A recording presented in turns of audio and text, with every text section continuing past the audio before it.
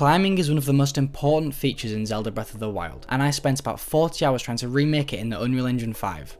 In this video, I'm going to explain how I did it. I will simplify complex programs into digestible and understandable terms. Whether you've never made a video game before, or are an experienced programmer, I aim to teach you something new and give you a look behind the curtains of one of the best games ever made. I will first give you a brief overview of this climbing system. You can enter and exit climbing mode by pressing C, you will get this widget pop up on the screen to indicate when that's possible, which is when you're facing a wall or when you're standing on a ledge next to a climbable wall.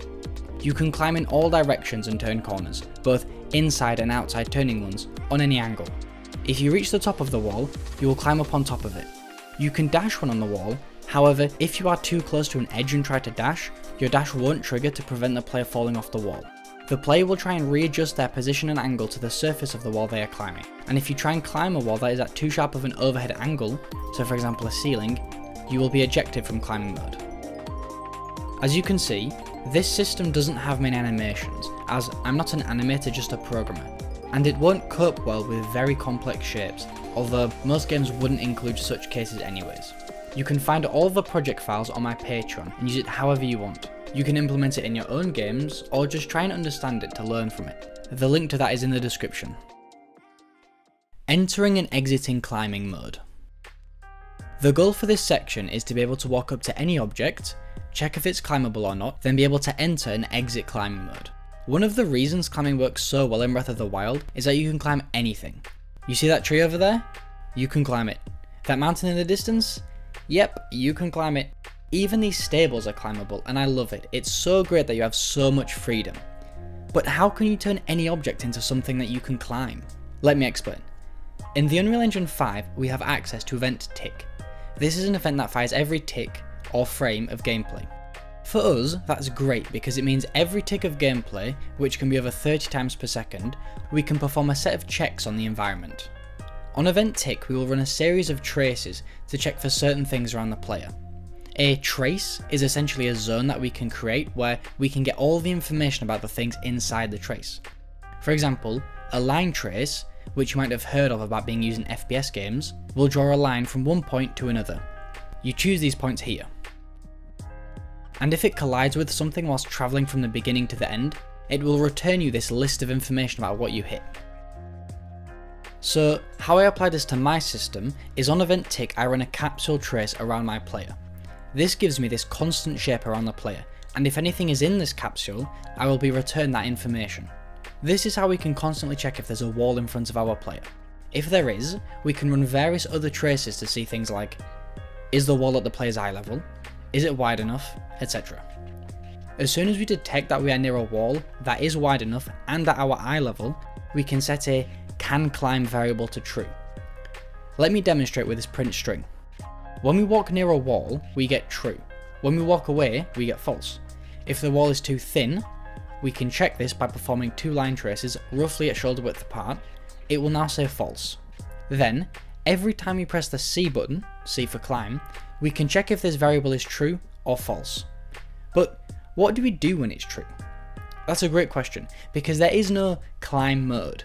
I had to create my own custom settings for this. I turned the characters mode to flying, which completely changes how they handle physics by basically just making them fly instead of walk. If you don't set a max speed for flying mode, your character will do this. You also want to change this setting. Set orient character to movement to false, because otherwise, when we move sideways, our character will try and turn to face their direction, and we want them to keep facing the wall. I extended the pre-made walking functionality to check if we're in climbing mode. If we are, we will apply the movement in the up, down and left right direction, completely ignoring forward movement so we don't climb into the wall. I should point out that if you aren't in climbing mode, trying to apply a force upwards just won't work, nothing will happen. Climbing. Like in the original game, when we are climbing we can go in all directions, apart from forwards of course. So up, down, left, right, and all of the diagonals in between. I got these animations for free from Mixamo, although I did try and make my own animations, I just wasn't too happy with the end result. When we press WASD, an event fires in our player character. We can simply say, add movement input. It's almost the exact same as the default setup in the third person template, except we need to do a little bit of maths to convert our input from forwards and backwards to up and down. It isn't much more complicated than that to be honest. I know it sounds too simple to be true, but the pre-made functions do it all for us already. Because it's such a common game feature, engines will typically give you functions to help you set it up quicker. However, I will touch on one key point. How do we play an animation in its diagonal direction when we only have up, down, left, right climb animations? To do this, I used a blend space. A blend space will blend between two or more animations. A very common example is blending between idle and running based on speed. This blend space means that when we're at 0 speed, we will play this animation. When we are at 500, we will play this running animation. And if we are at any number in between, we will see a mix or blend of the two animations. It's the same principle here for our climbing. We blend between the animations on the player based on the direction the player is climbing. If we're going left, we play the left animation. If we're going up, we play the up animation and if we are going diagonally up to the left, we mix the two animations together to get this. This is the function I use to calculate the direction. We run it constantly in the animation blueprint to save it into a variable for constant use. Turning smooth surfaces and keeping the player close to the wall. When the character is climbing along a curved surface, like this cylinder, the player will keep updating their rotation to face the wall. This is very important. Not only does it look better, but it's necessary to keep us on the wall. If we don't update our rotation, we will come to a point where our traces don't work correctly on the wall anymore, and we will just end up climbing off the wall. We use even more traces to accomplish this. When we are climbing, we are constantly doing a line trace into the wall that we are on to find out the wall normal. The normal of a surface is a line that is perpendicular to the surface. It's facing 90 degrees out from the rest of the wall. Essentially, the wall normal tells us the outward facing direction of the wall, and if we know which way the wall is facing, we can take the x-axis out of that. The x-axis is the forward going direction in this 3D situation. It's not the same as a 2D graph. We need to multiply the wall normal's x vector by minus 1 to get the vector facing inwards to the wall. Then we can rotate to that. This branch here is just to make sure that the surface we are trying to rotate to isn't too different to our current direction. I find that without this some bugs pop up, but it doesn't change the key idea. I know that might sound confusing, so I'll remove the mathsy terms and make it simple. We find the outwards going direction of the wall and inverse it to find the rotation our player needs to be facing into the wall when they are climbing. To keep the character closer to the wall, we get the impact point of the line trace into the wall, so just a reference to the part of the wall in front of us. And we move our character to 40 times the wall normal. As previously mentioned, the wall normal is the outward going direction, so 40 times the wall normal is a point that is a little bit out of the wall. I did another check with a dot product to make sure that the angle of the wall we are trying to move to isn't too steep compared to the player because I found that can also lead to complications. Getting to the top of a wall.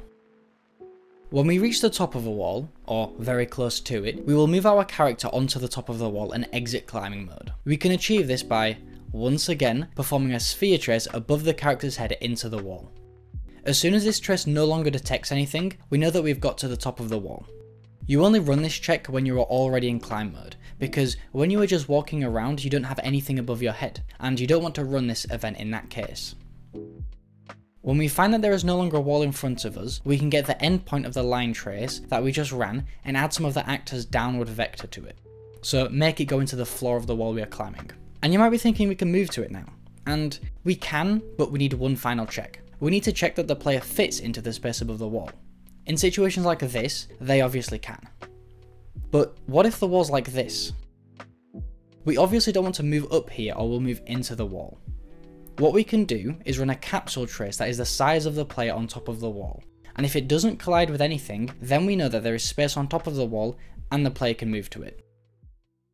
Entering climb mode from the top of a surface. Now, if we can climb up a wall, we also need to be able to climb down. That's why I did this feature. If you're on top of a wall, next to the edge specifically, and there is enough space for the player to climb down, you will get this pop up again, allowing the player to enter climb mode. You might be able to figure out now how I did this. Yep, more traces.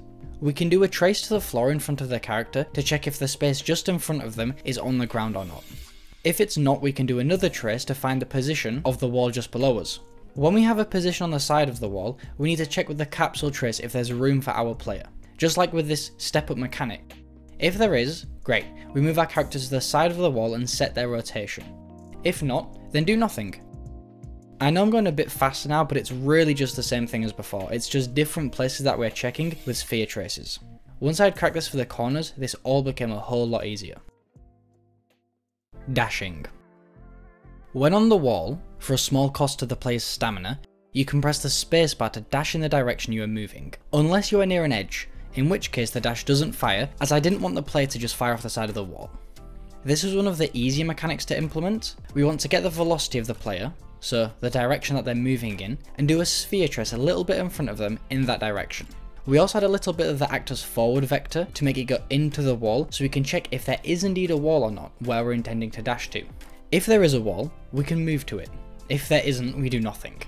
You will notice that this dash looks a bit smoother despite the lack of animation still. This is because I used a timeline. A timeline is a really useful tool when you want something to happen gradually and not instantly. We can create this timeline, which is just a graph, and plot time on the bottom with a value on the side. We need two points, one at 0, 0 and one at 0.25 seconds, with one value on the y-axis. We can turn this line into a float value which increases from 0 to 1 linearly over 0.25 seconds. This float value is then used to lerp between the pre-dash and post-dash vector, so the point where you were before you started the dash and where you are trying to dash to. A lerp vector will slowly move between the two vectors, a bit like the animation blend space we discussed earlier. At 0.12 seconds on the timeline for example, halfway in, the return vector will be halfway between the two. Then every time this updates slightly, we set the actor's location. This gives a nice smooth effect rather than a quick snap to the location. Stamina. I saved the easiest mechanic to last. This was very simple. There are loads of tutorials on how to do something like this. Whenever you climb, you lose a little stamina, and you lose 20% of your max stamina if you dash.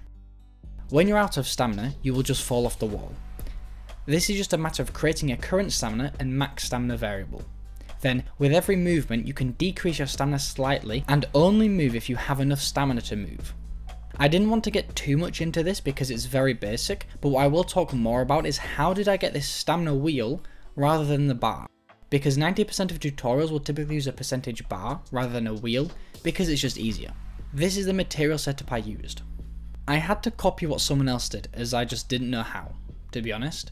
Materials are a whole other section of programming that I just haven't yet explored, although I do want to. You basically just rotate the material by an amount determined by your current stamina. I made a widget blueprint in which we can create an image, onto which we can add this stamina wheel, and then we can put the entire widget into the HUD. If you want to get this stamina wheel and use it yourself, you can find all the project files on my Patreon, and then you can use it in your own games. A link to that is in the description. Limitations. Finally, I will conclude with some of the limitations of the system.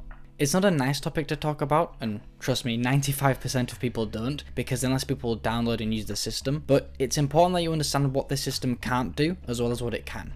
Whilst it can, consistently and reliably, deal with these kinds of shapes, when you start trying to climb some awkward angles and mixtures of lots of different shapes with loads of surfaces for the player to consider, it's quite probable that you'll be ejected from the wall, as you stay on the wall as long as your traces are detecting the walls in front of you, but when you keep getting pulled in loads of weird directions, some of these may fail. Although, you could probably just get around this by not building such shapes into your game. In Zelda Breath of the Wild, you don't really see shapes like this. Maybe a bit on the castle, but if you want your characters to climb rigid buildings or relatively smooth mountains, this will be absolutely fine. So, this system is not perfect. There are some issues, and it is a relatively basic system at the end of the day.